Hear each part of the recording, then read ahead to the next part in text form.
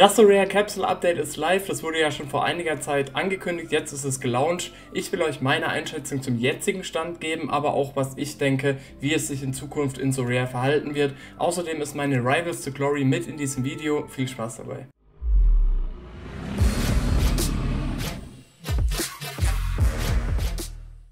Die Essenzen wurden in dem Update hier angekündigt. Hier wurde einfach vorgestellt, dass es jetzt quasi ein Crafting-System in Sorare geben wird, wie es ja in ganz vielen anderen Spielen auch der Fall ist. Ich finde die Idee per se eigentlich gar nicht schlecht. Ich habe mir nur ein bisschen mehr erhofft, das schon mal vorgegriffen, denn ich habe mir gedacht, dass es so ein bisschen auch ein Burning-System geben wird. Aber wer weiß, was in Zukunft kommen wird. Auf jeden Fall ist es eben ein Crafting-System in Sorare. Man bekommt die Essenzen indem man in ähm, European Special Competition ähm, Reward-Boxen sich holt oder eben in Sorare Rivals. Also es geht eigentlich nur darum, dass man relativ gut in Sorare performt, dann hat man eine Chance, Essenzen zu bekommen. Die sind ja jetzt auch schon die ersten ausgeschüttet worden und eigentlich ist es auch gar nicht so unwahrscheinlich, dass man welche bekommt. Man sieht hier dass es verschiedene Meilensteine gibt, in denen man ähm, die dann einsetzen kann. Ich zoome mal ein bisschen dran. Meilenstein 1 sind 20 Essenzen. Ich glaube, das ist auch das geringste, was man bekommen kann. Also wenn ihr eine Box öffnet und 20, also sind mindestens 20 Essenzen drin, ähm, wenn ihr das aktiviert, ist garantiert eine Tier 5 Karte drin oder eben besser.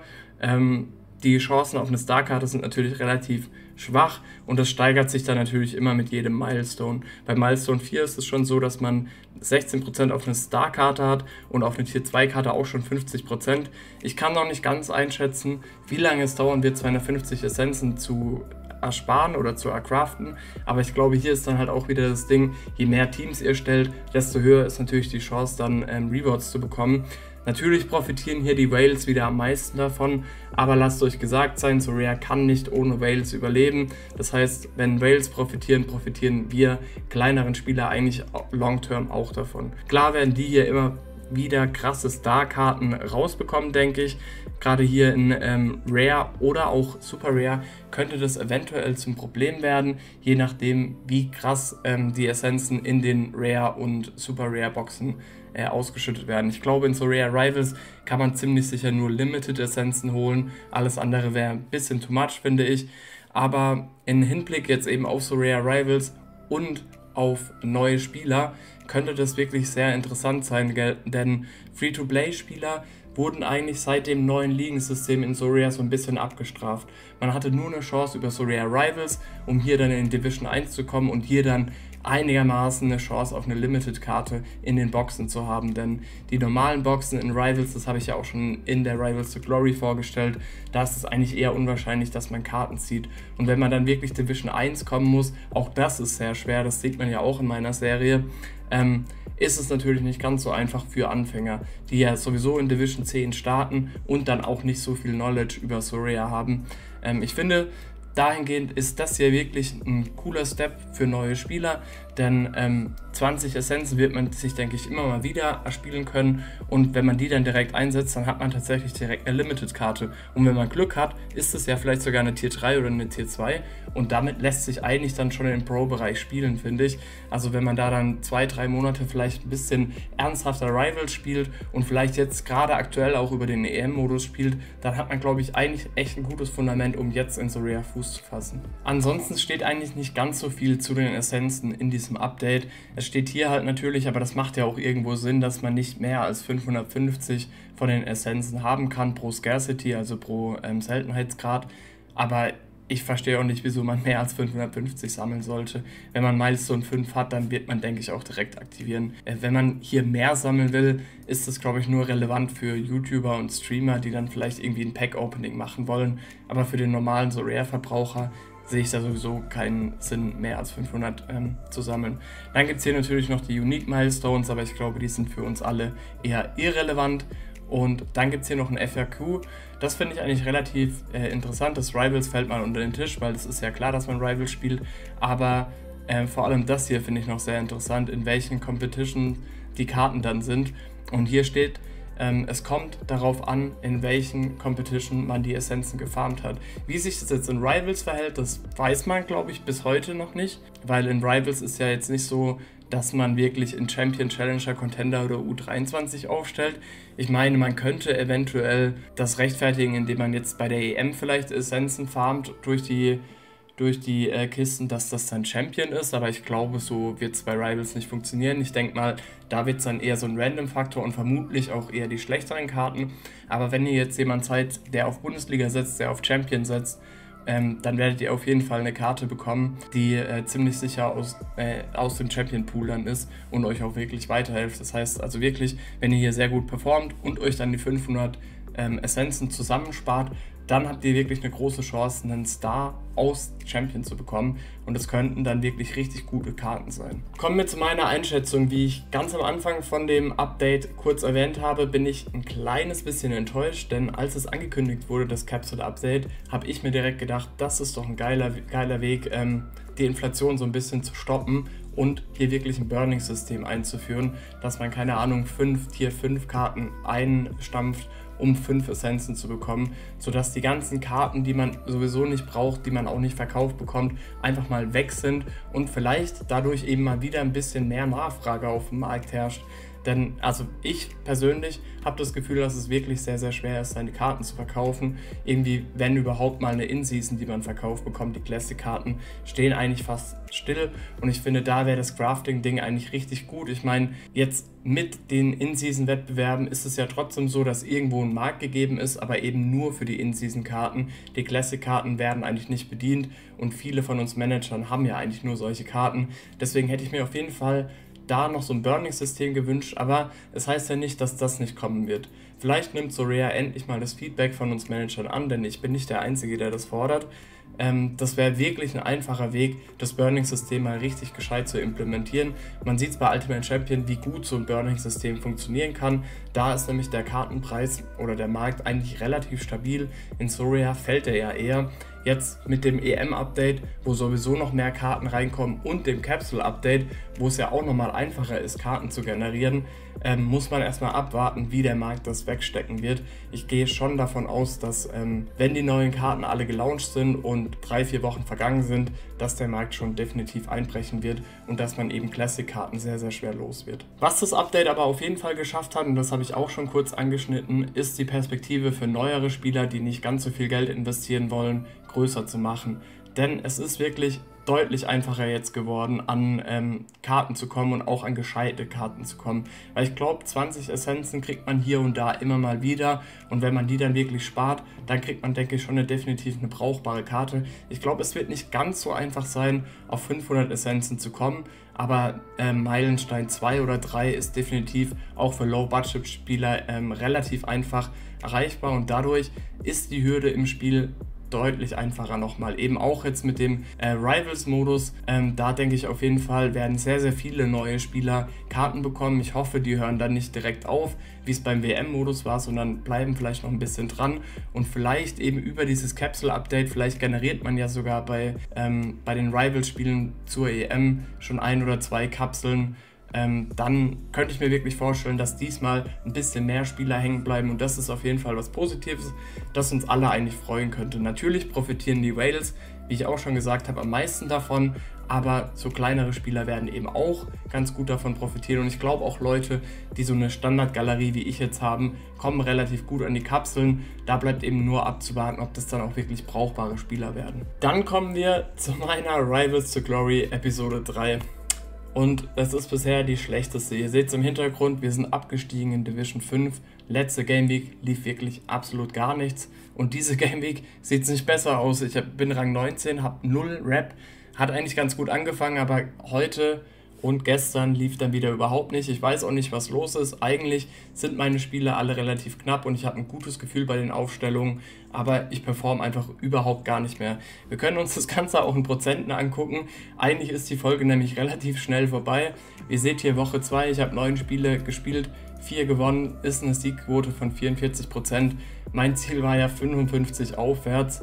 Diese Woche ist noch viel schlimmer bisher. Sechs Spiele gespielt, zwei gewonnen, 33% Winrate und das macht insgesamt eine Siegquote von 38,5. Boxen gab es dementsprechend leider auch keine. Ich habe weder eine Winstreak, Box noch eine Division Box bekommen, weil ich ja abgestiegen bin. Es lief wirklich überhaupt nicht. Was ich euch aber noch sagen will, ich will ja euer Feedback aufnehmen und es wurde gefordert, dass ich euch meine Aufstellung zeige und was ich mir dabei gedacht habe.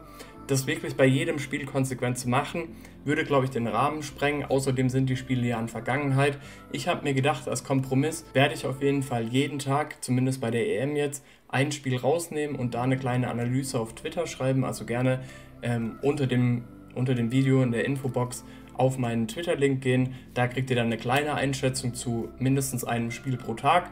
Und dann werde ich in jeder Rivals to Glory ab jetzt mir zwei Spiele rauspicken, die in der Zukunft liegen. Werde da erstmal ein Liner predikten, dass ihr da schon vielleicht ein bisschen Mehrwert habt, gerade bei Spielen, die vielleicht etwas kniffliger sind. Und dann werde ich eine Einschätzung zu beiden Teams geben und was ich vom Spiel erwarte und wieso ich die Spieler aufgestellt habe, wieso ich die Taktik gewählt habe. Vielleicht wird es ja dem einen oder anderen helfen, auch wenn ich diese Woche einfach absolut nicht gut war und vielleicht auch kein gutes Beispiel bin, will ich euch das trotzdem äh, nicht vorenthalten, weil ich dann doch glaube, dass ich auf lange Sicht, glaube ich, eine ganz gute äh, Siegquote hinbekommen werde. Weil viele auch nach meinen Rivals Special ähm, Gruppen gefragt haben und wie es da gerade so bei mir steht, will ich euch die auch nicht vorenthalten. Ihr seht, ich bin aber kein Teil von den großen fünf, die die Gruppe tragen. Ich bin jeweils wirklich überhaupt nicht gut dabei. Die EM läuft, wie gesagt, leider gar nicht bei mir. Ich bin trotzdem froh, dass unsere Community, die eine zumindest, die andere ist ein bisschen abgeschlagen, aber auch selbst die ist noch im, im Preispool drin. Aber die, die zweite Gruppe, die hat es tatsächlich im Moment unter die Top 700 geschafft. Das freut mich auf jeden Fall sehr. Snappys Community-Gruppe, wo ich auch mit drin bin, ist auch ganz knapp an den 700. Ich glaube, von ein paar anderen YouTube-Creatoren äh, da sind ein paar höhere ähm, ja, Ranglistenplätze aktuell drin. Ich habe aber auch gesehen, dass es wirklich sehr, sehr eng ist und dass eigentlich noch fast alles passieren kann. Natürlich sind Platz 1 bis 20 Träumerei, aber ich glaube, so eine Tier 2 ist durchaus realistisch, zumindest bei mir. An der Stelle würde mich natürlich auch mega interessieren, äh, was eure Gruppe so reißt, ob ihr in einer von denen hier mit dabei seid, die ihr im Hintergrund seht, oder was eure Top-Gruppe halt generell ist. Seid ihr in den Top 100? Würde mich auf jeden Fall mega interessieren. Ich habe mir als erstes Spiel ausgesucht Belgien gegen Rumänien, also am Samstag. Ihr seht das Video am Freitag, deswegen habt ihr noch genug Zeit, das Ganze anzuschauen und euch zu überlegen, ob ihr vielleicht den einen oder anderen Pick umsetzen werdet. Ähm, auf der Torhüter-Position habe ich mich für Castells entschieden. Belgien hat zwar einen Fehlstart hingelegt, ich finde, die haben aber per se eigentlich nicht schlecht gespielt. Romelu Lukaku hat mal wieder Lukaku-Dinge gemacht. Ich glaube, bei jedem der letzten großen Spiele hat der Torchancen versammelt bis zum geht nicht mehr, bis es gekracht hat. Ich glaube trotzdem, dass Belgien sich fängt. Castells ist unangefochtener ähm, Nummer 1, wird, denke ich, definitiv spielen. In der Abwehr habe ich dann De Bast ausgesucht, ist für mich ein kleiner Geheimtipp. Ich finde, der spielt richtig stabil, man sieht es hier auch an seinen Scores. Okay, ist belgische Liga, kann man sagen, aber eigentlich performt er schon ganz gut und gegen die Slowakei hat er auch in Ordnung gespielt. Vor allem dafür eben, dass er 38 Punkte kostet und ihr nur 290 zur Verfügung habt und sehr, sehr viele Spieler bei Belgien halt sehr teuer sind. Zum einen nämlich der Spieler, den man auf jeden Fall stellen muss gegen Rumänien, denke ich. Belgien wird sehr, sehr viel Ballbesitz haben und Kevin De Bruyne wird immer wieder gefährlich sein. Und wenn Lukaku dann auch mal einen Pass verwertet, dann bin ich mir auch relativ sicher, dass De Bruyne sehr, sehr gut scoren wird. Und dann habe ich mich für einen Doppelsturm entschieden, weil ich eben denke, dass ähm, Belgien definitiv drückend überlegen sein wird. Glaube zwar, dass es dass nicht ganz so viele Tore fallen werden, denn Rumänien hat wirklich eine sehr, sehr starke Verteidigung. Die haben wirklich stabil gespielt im ersten Spiel, hat mich überrascht. Ich habe schon gedacht, dass die Verteidigung gut stehen wird, aber dass die ähm, so gut dann kontern, hätte ich tatsächlich nicht gedacht. Ähm, ich habe mich dann eben für Lukaku und Doku oder Dökü oder wie man ihn auch immer ausspricht entschieden. Ähm, beide haben keine guten Scores gehabt im letzten Spiel. Lukaku hat, wie gesagt, man sieht es hier glaube ich auch, drei Großchancen vergeben, dazu noch zwei Abseitstore. Der hat wirklich gar nicht gut performt und Dökü hat ähm, den, den, äh, das, den, den Fehler vom Gegentor ähm, kassiert. Trossard ist eigentlich auch noch eine relativ ähm, interessante Wahl, genauso wie Openda und Bakayoko, weil ich glaube, ja, also ich habe Trossard nicht in meiner Aufstellung, sagen wir es eher so, weil ich das Gefühl habe, dass gegen so ein kompaktes Rumänien noch Openda reinrutschen könnte und das ist mir zu gefährlich. Ich denke, Dökü hat auf jeden Fall seinen Stammplatz, Lukaku auch und dann könnte eben äh, Openda als zweite Spitze nochmal mit reinrutschen. Deswegen ist mir ein bisschen zu gefährlich. Openda ist dann vielleicht so ein interessanter Pick, wenn ihr andere Spieler, teurere Spieler in der Verteidigung aufstellen wollt. Ähm, dann könnte das sehr, sehr interessant sein. Ansonsten bin ich mit dieser Aufstellung sehr, sehr zufrieden. Würde hier dann ähm, auf jeden Fall De Bruyne als Kapitän nehmen. Ich, bei Doku und Lukaku bin ich mir zwar relativ sicher, dass die Scores gut werden, aber ich bin mir eigentlich ziemlich sicher, dass De Bruyne die besten Scores auf dem Spielfeld haben wird. Ähm, bei der Taktik ist es dann relativ schwer. Ich denke, Belgien wird drückend überlegen sein. Ich denke, die werden sehr, sehr viel Ballbesitz haben, 70 plus, würde ich sagen. Nur ist halt das Ding, Lukaku und Döku werden nicht viele Pässe spielen. De Bast und De Bruyne werden zusammen nicht auf die 220 Pässe kommen.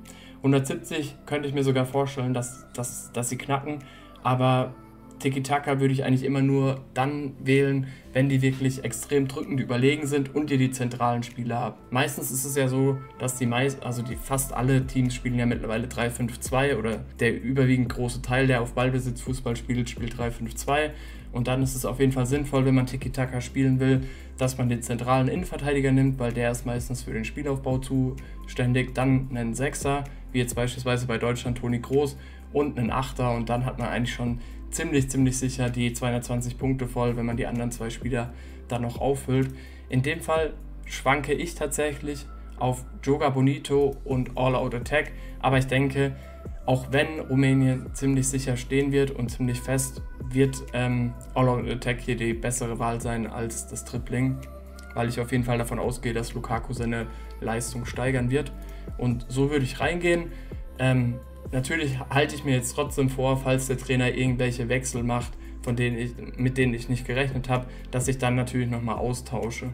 Das ist ja klar, also bis dahin kann noch viel passieren, vielleicht verletzt sich auch jemand, aber Stand jetzt, wenn alle meine fünf Spieler in der Startelf stehen, dann werde ich auf jeden Fall so spielen. Und das zweite Spiel, das ich mir ausgesucht habe, ist dann Georgien gegen Tschechien und ihr seht es hier im Hintergrund schon. Ich habe mich tatsächlich für einen kompletten Georgien-Stack entschieden. Das klingt erstmal ziemlich verrückt, weil Georgien schon ein krasser Außenseiter ist. Aber ich finde, die haben es gegen die Türkei echt nicht schlecht gemacht und hätten tatsächlich auch das 2-2 eigentlich fast schon verdient gehabt zu dem damaligen Zeitpunkt. Die haben wirklich super gespielt, vor allem Quaraskelia hat wirklich ähm, sehr, sehr gut gespielt und Mikautatze, die beiden haben wirklich Alarm gemacht vorne. Und ich finde, die haben es tatsächlich auch einfach besser gemacht als Tschechien gegen Portugal, auch wenn es da auch lange gut aussah und vor allem hier der Torhüter ähm, eigentlich in den Himmel gelobt wurde, in Deutschland von den Moderatoren zumindest im Live-Spiel. Ich persönlich sehe das aber ein bisschen anders. Ich finde, der hat jetzt nicht so 100% sicher gewirkt. Da finde ich Mamadashvili tatsächlich die bessere Variante und ich gehe auf jeden Fall auch davon aus, dass das kein Spiel sein wird, wo extrem viele Tore fallen werden, sondern dass es wirklich eine Abwehrschlacht sein wird, weil Georgien wirklich mit Herzblut spielen wird. Die feiern, glaube ich, auch schon, wenn sie einen Punkt holen würden. Das wäre der erste in der Geschichte. Deswegen denke ich da auf jeden Fall, ähm, werden nicht ganz so viele Tore fallen.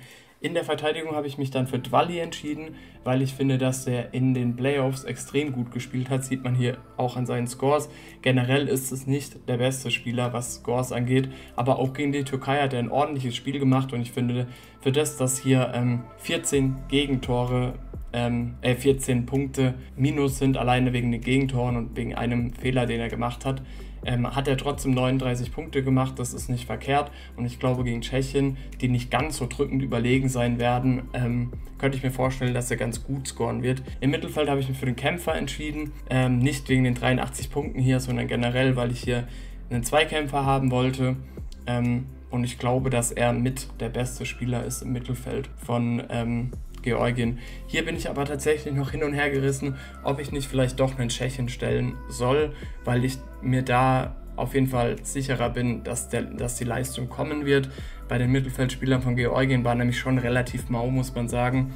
Und dann im Sturm habe ich mich für Tatze entschieden und Quaraskelia, vorhin schon angeschnitten.